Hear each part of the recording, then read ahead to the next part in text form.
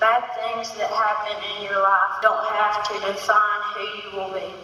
You can make a choice to be a winner in life. When Bryson Ritchie spoke those words to Plainview classmates during their sixth grade graduation, he had no idea how important it would be for him to heed his own advice just two short months later. Ritchie is the definition of an All American boy. He has been active in basketball, football, and baseball and hoped to begin playing full contact pigskin for the Plainview Bears in the fall. But one final hurrah with three of his best buddies on August 4th, just two days before school started, changed Bryson's life forever. A split second ATV accident led to an amputation, but that hasn't changed his winning attitude one bit. WHNT News 19's David Wood shows you what it means to be Bryson Strong. We want to warn you, there's some rather graphic video in this story.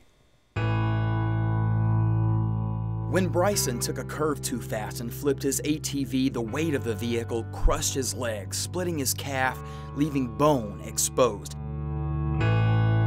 In that moment of terror, a friend fashioned a tourniquet to try to stop the bleeding while other classmates ran for help. Bryson was flown to Huntsville Hospital where he underwent emergency surgery to repair multiple fractures and clean up his wound. That was Tuesday night. By Thursday afternoon, Bryson's mom Danielle noticed his foot was cold to the touch and was immediately concerned. So it's been a long road.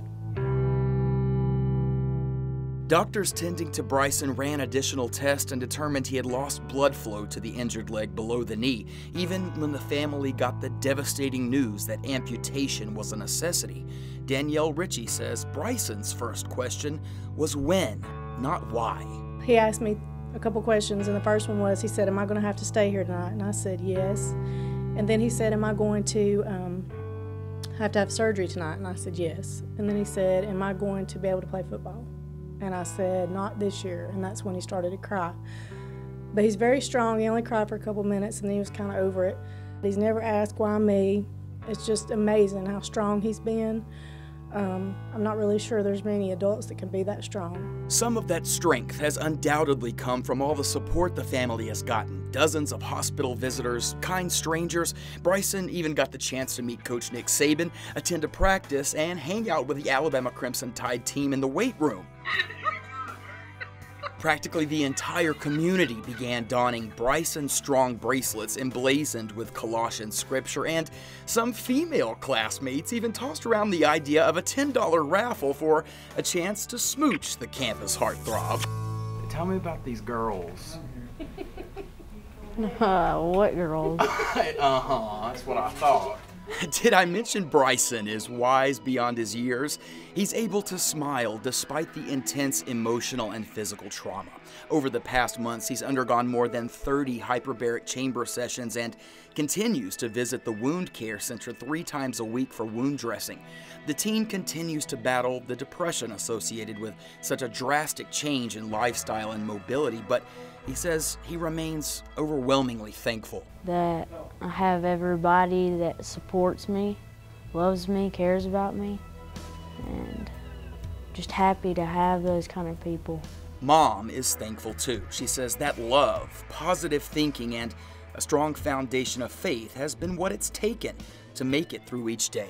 We know that for some reason this is God's plan for Bryson's life, and we may not like it, but we have to accept that He has a purpose and a plan for him, and we want him to live life to the fullest. You only get one chance to be a 13-year-old, you know, kid playing sports throughout your school career, and if that's something that his heart continues to desire to the degree it does now, then I we will do anything in our power to get him what he needs to to make that possible. The family has talked with prostheticians about not only fitting Bryson with an everyday prosthesis so he can walk again, but a sports version that can withstand the rigors of competition.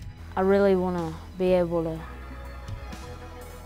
heal everything up and make sure that everything's okay and then from there on take it to where I can walk, be able to run, play, and know that I'm back to myself. You know. To help with his mounting medical expenses, friends and family organized the Bryson Strong 5K fitness walk and run. More than 700 people took part in the event at the DeKalb County Schools Coliseum. They raised $37,000 for the Bryson Ritchie Fund. When we come back, I'm 76 years old. they call him the Dancing Man of Guntersville. And He's a true philanthropist, true servant. why John Stallworth would rather drive the golf course in a cart than with a club.